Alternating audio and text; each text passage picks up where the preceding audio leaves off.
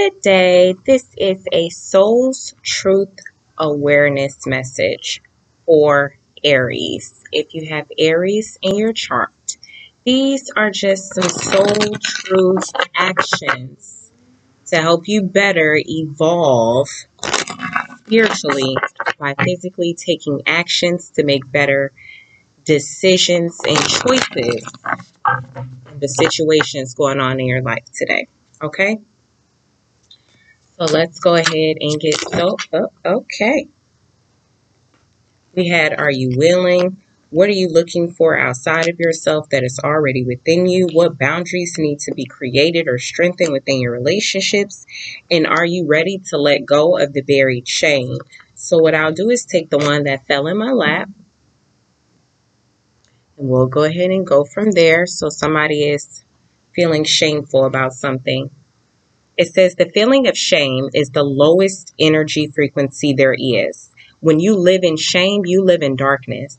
What part of you is ready to stand in the light? Is there any shame from a past experience that is ready to be healed? So your action is heal the shame by giving it a name. Bring it to the light and let it be seen, heard, and healed. It's revival season. Replace the shame with your soul's truth, which is to fill in the blank. My soul's truth is blank. Let's see what this has to do with Aries. It could have something to do with being a parent. It could have something involving a community of people.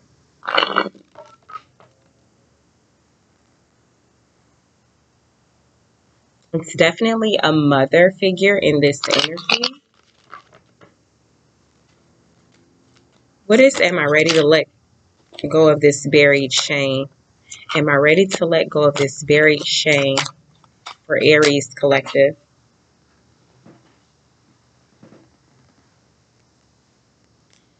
Pathway, journey, and change. So somebody took a path that was not of their highest interest. And they're currently on a journey that they may actually be shameful about, but they're ready to make some changes.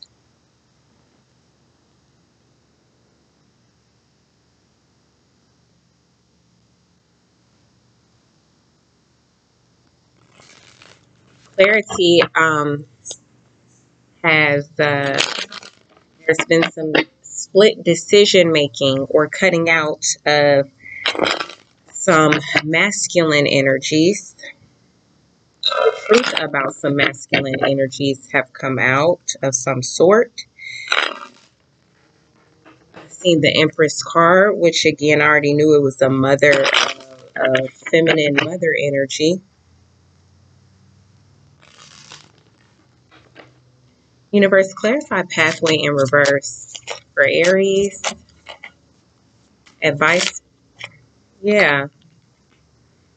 A path was taken thinking it was to get to calmer waters, but it actually just led to someone who's emotionally intuitive and nurturing. They ended up being heartbroken.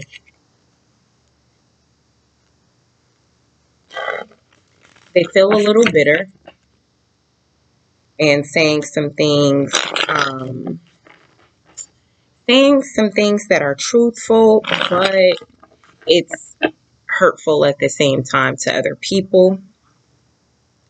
Or it's a truth that can hurt other people. What's journey? Uh, taking a leap of faith in a new beginning.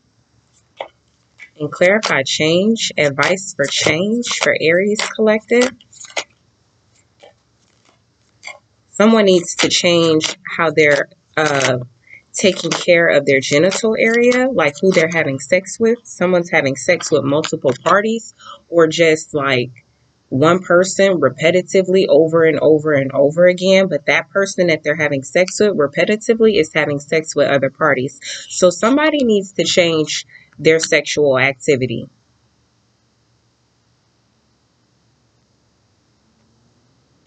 Go ahead and take a leap of faith towards the journey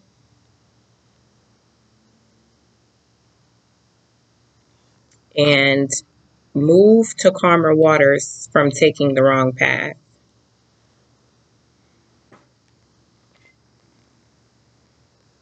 Somebody walked away from a family setting because they didn't want their secrets to be exposed. So now they're defensive.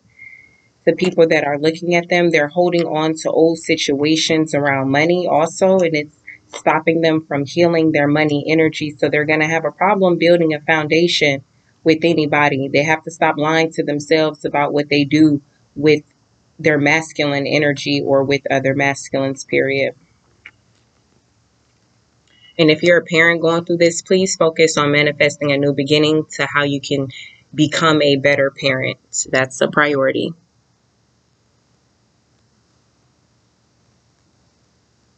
You have the Six of Swords again and the King of Cups. There's a masculine energy that is going to move to calmer waters.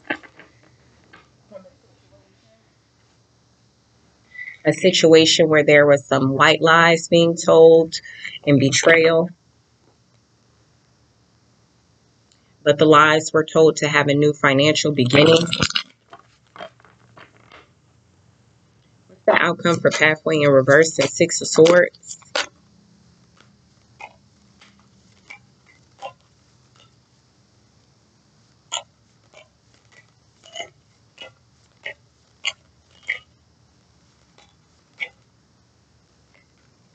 Divine timing, patience,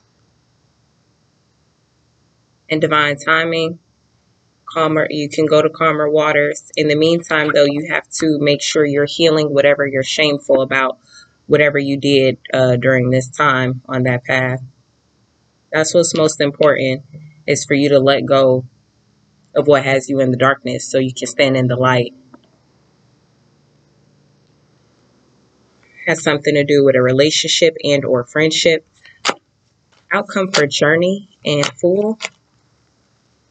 Somebody feels foolish for the journey that they took and they're wanting to move forward. Clarify journey and fool. What's the outcome for journey and fool for Aries? Outcome for journey and fool for Aries. Someone's going to take a leap of faith to actually work and manifest some type of work partnership with a friend or lover.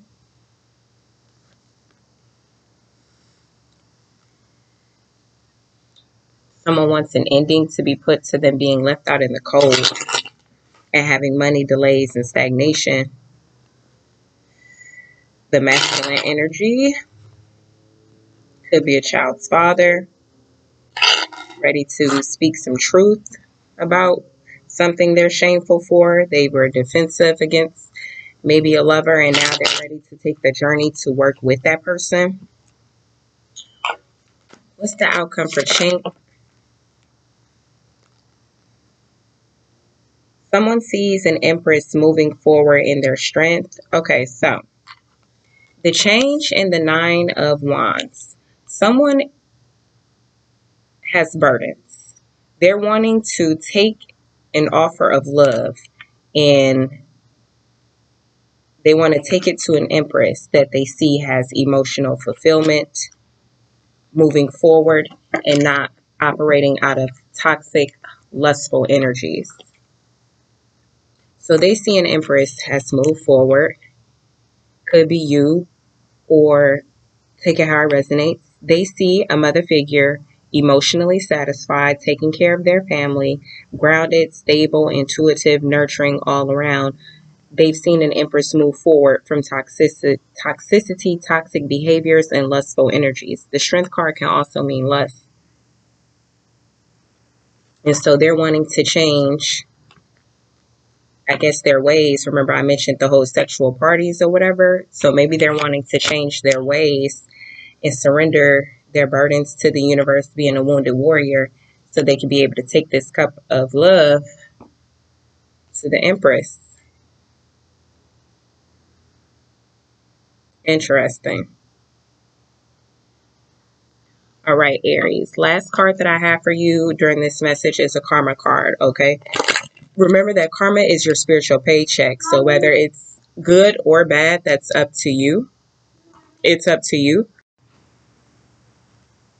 It's up to you. So let's just see what the universe has for you to keep in mind. Universe karma messages for the Aries collective. Karma messages for the Aries collective. You could be dealing with a Taurus or a Pisces or have those in your chart. Um, the message is that Saturn is in somebody's 12th house, whether it's yours or theirs. So you definitely need to um, be mature about the resources that you are maintaining. Use caution with what you're doing with your psychic knowledge, and limits may be imposed from being indecisive about a situation regarding productivity. Be realistic about your beliefs and your dreams, okay? All right, Aries, thank you for watching. I hope this message helps you in some shape, form, or fashion. Don't forget to do your action, which is filling in the blank. My soul's truth is maybe you want to do a journaling for that every day so you can heal whatever it is you're feeling shameful about because that's a very low vibration. Okay, thank you for watching. Personal readings are available. Click the link in the description box. You do get your reading within 24 hours. Thank you.